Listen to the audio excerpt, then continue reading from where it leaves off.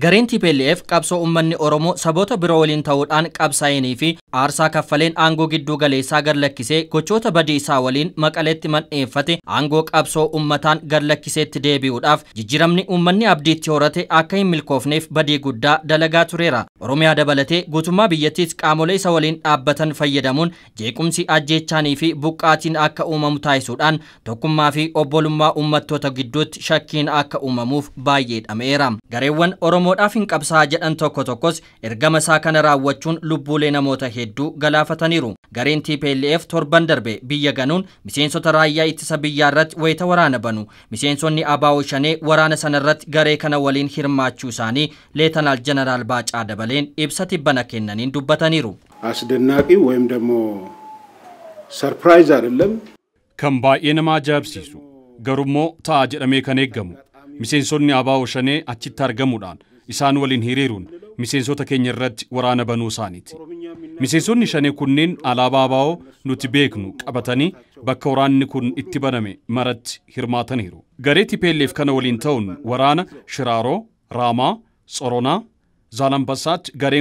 bane irratti hirmaatanii miseensota raayyaa ittisa biyyaa waraananiiru. በዚህ በራማ በኩልም ተዋግተዋል። በጾሮና በኩልም ተዋግተዋል። በዛላምበሳ በኩልም ተዋግተዋል።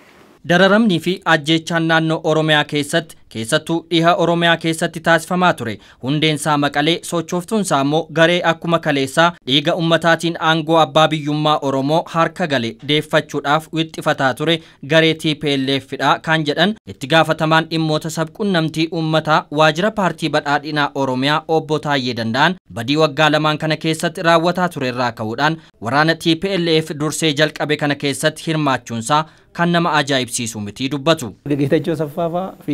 Firoonni isaa juntaan araa kiiloodhaa bahee booda wanni dhiharrattis kibbarrattis yeroo jalqabaatiif waraana baneef deeggarsa TPLFiin ajandaa TPLF tarsiimoo TPLFiitiin kana sirriitti beekuun hin barbaachisa jechuudha. Kanaafani dhaabni akkanaa achitti naannoo Tigraay keessa milishaa TPLF wajjin yookaan humna addaa isaan jedhan sanii wajjin ta'ee raayyaa ittisaa hoo waraane ana nan ajaa'ibu jechuudha.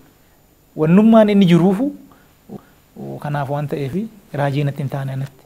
Garee diina Oromoo kaleessa Oromoota hedduu ajjeesaa fi qaama miidhamtoota taasisaa ture kana waliin qaamni amma hiriiree Oromoodhaaf qabsaa'aa jira jedhu kun kaayyoo ka'eef irraa mucucaatee raawwataa ajandaa diina Oromoo erga ta'ee bubbuleeraas dubbatu. Ani gama kiyyaan bara kudha sagal sagaltamii ja'a yeroo magaalli Finfinnee gara Adaamaa maa jijjiiramte jedhamee dubbiin ka'e san dargaggoota afurtamii lama fuudhee karaa dargee kana abaawootti dabalamuuf deemeen ture qabsoodhaaf. Hin lollaa jennee deemne afurtamii lamman keenya iyyuu abaawoon TPLF nu kenna jechuudha deebisee. TPLF hinidha abaawoon hin hiisisa. Uummanni Oromoo dhaaba qabaa dhaaba qabsaa qaba jedhee waan hin jirre akka eeggatuuf kallattii saniin itti fayyadamaa ture jechuudha. Kanaaf waan TPLF godhe inuma godha abaawoon jechuudha.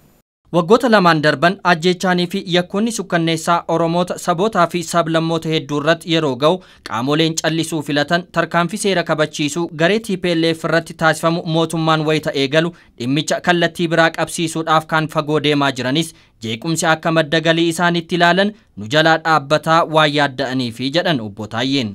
Tarkaanfiin olaantummaa seeraa kabachiisuu garee TPLF irratti fudhatamaa jiru kun rakkoolee uummanni biyyattii itti dararamaa turaniif furmaata ta'uu baree uummanni bakka jirutti nageenya isaa eegaa mootummaa fi raayyaa ittisa biyyaa cinaa dhaabbachuu qabaas dubbatu obbo Taayyeen.